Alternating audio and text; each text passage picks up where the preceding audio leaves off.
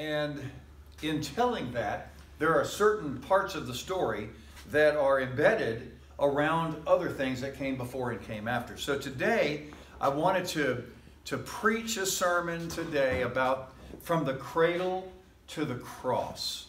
It's kind of a segment of, of Jesus' life about 2,000 and some odd years ago.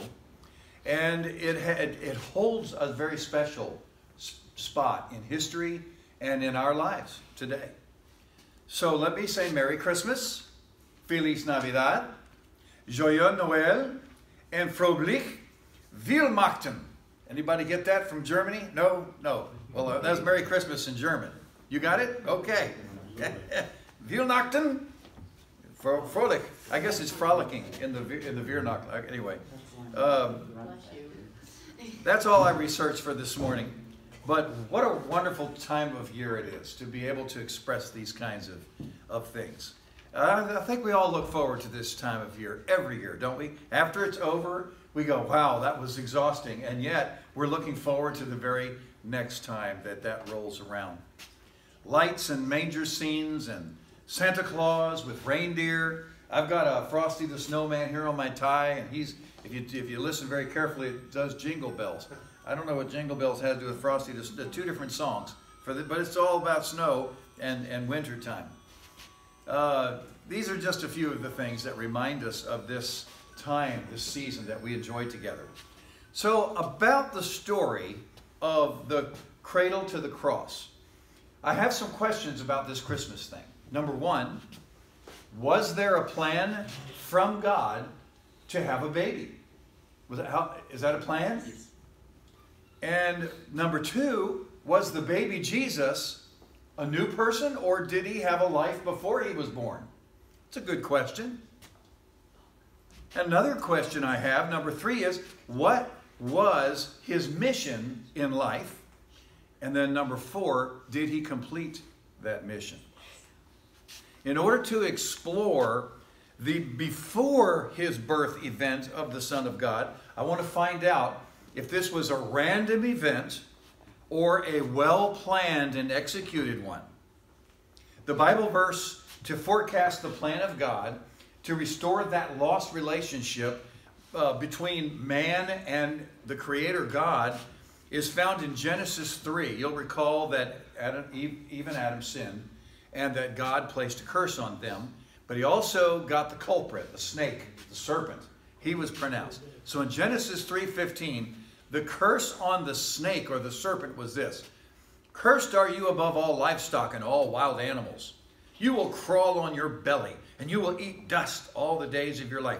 I kind of feel like God had a little anger going on in there. I mean, he had his pride and joy, Adam and Eve, and this snake in the grass, this snake in the tree caused everything to change and not in God's favor. And he said to the snake again, I will put enmity between you and the woman, between your offspring and hers. He will crush your head, and you will strike his heel. Now that's prophetic language. It has, sometimes the prophecies have two meanings, an earthly one and a spiritual one. So we're going to look at that. That's an interesting phrase in the curse of the serpent. I will put enmity between you and the woman in between your offspring and hers, and he will crush your head and you will strike his heel. How does that make any sense? If the curse, if it is Satan being cursed as well as all other snakes, well, that's the physical part of this curse. One time, a long time ago, I had a, a preacher friend of mine, and every time he came to this passage in the Bible, that's a messianic prophecy. I said, Well, it looks to me like all snakes have been cursed, not just the devil uh, that apparently at one time snakes must have had little legs or something. And they, they could move around. And they had other things that God took away as he cursed this particular serpent, but all of his ancestry after him. The, the, the thing that stands out to me is this word enmity. It's not a word we use every day. It, it does mean enemy. It's used in the in the rest of the Bible, that particular idea in the Hebrew, also in the Greek, of an enemy, but it really means hatred. Going to put hatred between the snake and a human being. That's the physical part of it. Now, the spiritual part That's a whole nother deal. Listen, in, in uh, Luke 23 12, Herod, the king of the Jews at the time of Jesus' life, and Pilate, he was the Roman governor, two guys from two jurisdictions hated each other. But when it came time to pass Jesus to the other, one to the other, they became friends. Isn't that awful? To think that to crucify or to find guilt in a guiltless man would bring two enemies, two, two guys that hated themselves, that, each other, and then all of a sudden make them friends over the demise of this, of this man, Jesus. Spiritually looking at the curse on the serpent, we see that the offspring of this messianic prophecy is Jesus. He's the Son of Man, but also he's the Son of God. The devil was able to make the crucifixion happen. He was able to turn hearts and deceive people into believing that Jesus was evil or that he had malintentions. And so, as he was able to make this crucifixion come to life, a spiritual striking at the heel of God Himself had taken place. Satan was able to affect the life of the Son of God. He was striking at his heel. But the other side of the curse and the prophecy was that the offspring, Jesus, would crush his head. And that is Satan's head, and we say hallelujah to that. This is the plan of God to restore man to righteousness and therefore a close relationship with the Creator. Other prophecies were proven by history and they're found in other areas. We're going to explore them. But to answer the first question, uh, was Jesus, was the plan of God uh, in place? Yes, this was the plan of God, even back to the days of the creation. In Micah, uh, which is a minor prophet in the Old Testament. Maybe you've read some of his things, maybe you haven't. It's, he's not a very popular one, but in there, there's a messianic prophecy. That is a future foretelling of Jesus, the Son of God, to be born. He said, But you, Bethlehem, Ephrathah, Epaph, Ephrathah, well, that's, that's hard to say. Though you are small among the clans of Judah, out of you will come for me one who will be ruler over Israel, whose origins are from old. So that speaks of Jesus' life, even being before he was born, he was around. Isaiah 7:14 also says this, another messianic prophecy. Therefore the Lord himself will give you a sign. The virgin will conceive and give birth to a son and will call him Emmanuel, which literally means God with us. So you see, there was the life of Christ was as, as God himself. And it was, it was from eternal to eternal, from everlasting to everlasting. He was there. And again, the, the lineage of Christ is prophesied to come by way of Abraham and Jacob. And that's found in Genesis 22 18. It says, Your descendants will take possession of the cities of their enemies and through your offspring, there's that word again, offspring, all nations on earth will be blessed because you have obeyed me. And to Jacob, the grandson of Abraham, God spoke this in Numbers 24. He says, I see him, but not now. I behold him, but not near. A star will come out of Jacob, a scepter will rise out of Israel. We, he will crush the foreheads of Moab and the skulls of all the people of Sheth. Kind of gruesome, but those were the enemies of God.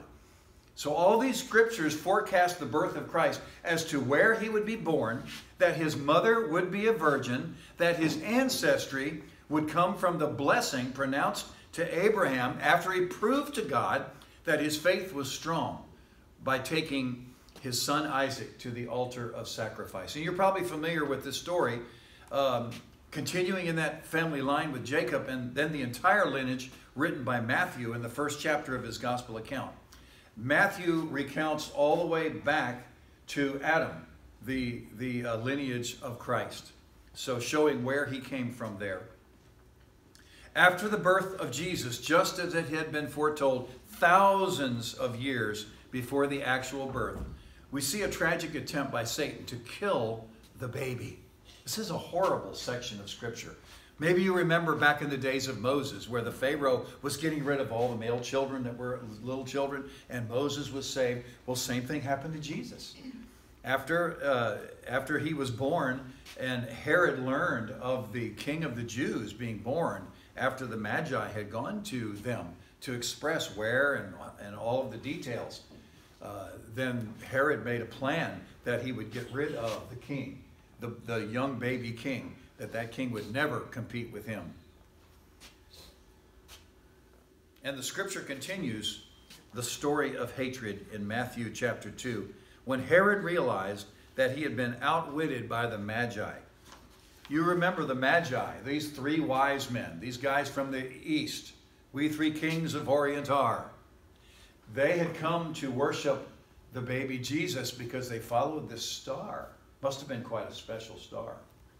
I mean, people are baffled by this. How could you follow a star? Aren't they too far up? I mean, even if you had some sophisticated hardware or even computers and software, how could you follow over the exact spot in a regular star? Here's what I think I think that God is light, and in him there is no darkness at all. And that God that day showed these guys where his baby was going to be born, and he was there at the birth of his baby. Now, it's just a theory of mine. You can take it or leave it if you want, but I like it, and I'm hanging on to it. Because, you know, you, you, don't, you don't really get in writing where was God? Where was Father God in all of this? Was he just sitting on his throne and all this was happening down on earth? I think he was very close by. So here we have this uh, Jesus is born, the Magi, they're aware of what's going on, so they go around Herod. And so when Herod realized that he had been outwitted by the Magi, he was furious. He gave orders to kill all the boys in Bethlehem and its vicinity who were two years old and under, in accordance with the time he had learned from the Magi. Then what was said through the prophet Jeremiah was fulfilled. A voice is heard in Ramah, weeping and great mourning. Rachel weeping for her children and refusing to be comforted because they are no more. Can you imagine the pain of having your children just taken away from you like that, the baby sons, by the authority of the king of, of Israel? This was a sad time in the times of Israel, in the ancient times. And then the Bible continues and says, after Herod died, an angel of the Lord appeared in a dream to Joseph in Egypt and said, Get up, take the child and his mother, and go to the land of Israel. For those who were trying to take the child's life are dead. Do you see that God was protecting baby Jesus this entire time? He had angels surrounding him. He had Joseph being talked to in a dream as to how to exactly get around the hatred that Herod had for the baby Jesus.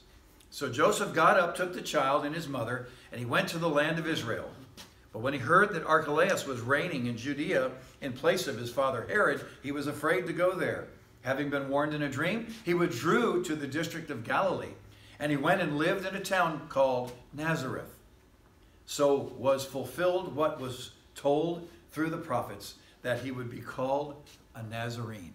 You see how this works around? All these complicated structures, thousands of years before the fact, come into an exact, a perfect alignment with what exactly happened with the baby Jesus. So, at this point of the story, we see that the prophecies of the Old Testament, that Jesus was the seed of a woman to crush the head of the serpent, which is Satan, otherwise known as the evil one Satan's plan was evidently to have God's son killed at childhood, at, ba- at babyhood, as a toddler. Does everyone agree that God is more powerful than Satan? I hope so, because he is. The birth of Jesus to the Virgin Mary is evidence that the Lord of heaven came down from glory above to be a helpless child. The God of heaven, that being the second person of the Godhead, Jesus. He was protected in the flesh by his stepfather Joseph and also by angelic protection as well. The mission of Jesus as he became a young man is found in Luke chapter 2. And it says, Every year Jesus' parents went to Jerusalem for the festival of the Passover. When he was 12 years old, They went up to the festival according to the custom. After the festival was over, while his parents were returning home, the boy Jesus stayed behind in Jerusalem, but they were unaware of it. Before you judge the boy or his parents too harshly, remember that Jesus was born for a mission, and he was becoming ready to fulfill his mission even at the age of 12 years old. Don't forget that many scholars believe Mary to have been just a little older than that when she gave birth to Jesus. She was a very teenage girl by all accounts. At any rate, the boy Jesus was confronted for frightening his parents. That's a crime that's, that most of you are guilty of, I'm sure, at some time, frightening your parents. That we've gotten over it. If we're older, we got through it. At any rate, the boy Jesus was confronted for frightening his parents by staying behind to have an adult conversation with the teachers in Jerusalem. These were the big dudes. These were the guys who, who sat around and thought about things, about God and about how the universe worked and the law of Moses and who was God. These were the big shots in faith back in those days. And here's this 12 year old boy sitting around talking with them, and, and the Bible says that his answers astounded them. That's how special Jesus is and was and will always be. In Luke 2:49 says, "He said to them, "Why did you seek me? Why did you not know that I must be about my Father's business?" I went over to the King James here, so if you're reading in an NIV, I get it. I just love the way it says, "My Father's business." That he was about his Father's business. What business was that? He was God. He was in the God business. Even though he was human, he was God. He was about his Father's business. But they did not understand the statement which he spoke to them. How can you understand that? You're a mom and dad. You've got your little baby boy right there. 12 years old, right? They all know everything by that age, right? This day and age. Actually, the closer you get to 18, you really know everything. I, I once uh, saw a thing sitting on a refrigerator with a magnet that said, uh, "Move out now." Uh, that you're you're uh, 18 while you know everything, and you know, get a job and move out. But you know that's not true because as soon as that happens, mom and dad are going to get a call. Hey, can I borrow some money? I need. I can't pay rent this month. Yeah. When when uh, the the boy Jesus had exhibited such wisdom, he was respected even then at that age. Then he went down and came to Nazareth and was subject to them, but his mother kept all of these things in her heart. And Jesus increased in wisdom and stature and in favor with God and men. At age 30, Luke 3.23 states that Jesus began his ministry. You might also say that he officially began his mission for which he was born to complete, his mission from God. After three and a half years of preaching the gospel message to his own people, the Jews, he was arrested by those very Jewish leaders and finds himself before Pilate. So, what was his mission? What did Jesus say was his mission? Okay, he was born, there was a plan in place by God. He was born to fulfill that mission according to Scripture. Now what?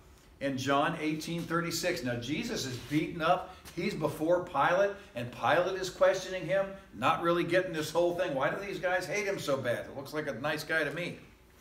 That was my words, not the Bible. But now I'll go to the Bible. Jesus said, My kingdom is not of this world. That's an astounding statement. My kingdom is not of this world. Remember that, folks. We serve a God of a world that encompasses all of our boundary lines between North America and Canada, between the southern border to Mexico, uh, all of the borders that we have at our airports where people come in from other countries. These are carnal kingdoms. These are uh, national uh, human environments. But Jesus is over all that. His kingdom is not of this world. So he said, if it were, if this were my planet, if this was my town, if you're, then you're in my mansion. Doesn't say that, but he says, if it were, my servants would fight to prevent my arrest by the Jewish leaders. But now my kingdom is from another place. Where do you think that is? Is he referring to heaven there? My kingdom is from another place. He's from another, another dimension. He's from so above all what we see here in our little world We're like ants compared to him. We're like just doing our little thing. We're not, we're not aware of anything going on in the big picture. And here is Jesus. He says, so uh, Pilate retorts, he says, You are a king then, said Pilate. Jesus answered, You say that I am a king. In fact, the reason I was born and came into the world, listen to this, is to testify to the truth. What happens, guys? Year after year after year, people dilute and pollute the truth. So we don't know how old is our earth. We don't know, you know, if did dinosaurs and human beings walk together? If you go to any class of, of, of um, teaching science and, and the, the, evolution of man, they're going to say, "Oh no, they never did. They, they don't. They don't get to walk in the same age as One was millions and billions of years ago, and one was hundreds of thousands of years ago." And, and I know I've talked on this before, but this is how Satan worked. He erodes the truth. So God sent His Son Jesus, born of a virgin, to set the record straight again. He said, "I came." To testify to the truth. Everyone on the side of truth listens to me. There's a lot of people in this world, I would venture to say most of the people in this world, who have got no interest in hearing the truth. Whatever advances their own personal, selfish desires, that's what they want to do. But nobody wants to hear that Jesus was called to come down here and save us from ourselves. What is truth? retorted Pilate. With this, he went out again to the Jews gathered there and said, I find no basis for a charge against him, but it is your custom for me to release to you one prisoner at the time of the Passover. Do you want me to release the king of the Jews? Can you imagine how sarcastic that must have sounded? How awful that must have sounded to those, those uh, Pharisees that had brought him up there, the chief priests, and even King Herod and all anybody in his court for him to say that? You want me to give you back the king of the Jews? And they shouted back, No, not him. Give us Barabbas. Barabbas had taken part in an uprising. Barabbas was, was a guy who deserved to be punished. Jesus was not. The crowd wanted the one who had committed the crimes and wanted to kill the one who never did. My friends, Jesus, the Son of God, was on a mission to save you and I from the lies of the devil by testifying to the truth. Christmas is about the truth. The truth is that the Christmas story is just part of the whole story of God. God created man in a perfect place, and it was man who believed the lies of Satan. Having been punished by banishment to a fallen world, where we live now, God made a plan even as fresh as the pronouncement on the curse of man and woman to restore the relationship we once had with God. Do you remember the story about Adam walking in the cool of the evening, walking with God and talking about things? Well, see, that's what God's heart is. He wants that. He wants you and I to walk in the cool of the garden with Him. It's a good, it's a good life. He doesn't want us to be in the fallen world and be always believing the lie and always turning away from Him. God's plan required Jesus to be born of a woman in order to die for all mankind so that we may be restored to our, our Maker once again, even though we live on this earth. It's a miracle. We can live by the Spirit for Him in expectation of living with Him in glory, once again, as He intended for us in the beginning. As we celebrate the reason for the season, let us also remember that Jesus is the same yesterday. He's the same today, and He's the same forever, forever. He didn't change. We are the ones that need to change to be more like Him. Merry Christmas, everyone. I hope this season brings about great things for you. I hope that maybe your personal relationship with the Lord will become greater, that you might be called even to a greater understanding of who He is and what He wants from you. I'm looking for that in my life. I want to do all that I can for the Lord, all that I'm able to do. And isn't it great that, that Jesus doesn't require us to do anything that we're not able to do? He only gives us what we are able to do and to give it to Him. So there, there's your story. There's the story for you to bring out to the people at whatever Christmas party you go to or whatever uh, Christmas banquet you do on Tuesday, whether it's opening presents. Please remember, you know, sing happy birthday to Jesus if you want. I mean, this, it's just part of the story. The whole story of recognizing who Jesus is, is, is really who we are in relation to Him. If you're not a Christian today, I ask you to come up and make that known that you would become a Christian. If you'd like to be baptized, we'll figure out a pool. Is it warm or is it cold? We don't care. We don't care, right? If it's a great occasion, we'll go in there with wetsuits if we have to. Uh, if there's anything you'd like to have prayed about, we offer this time. It's just a great time.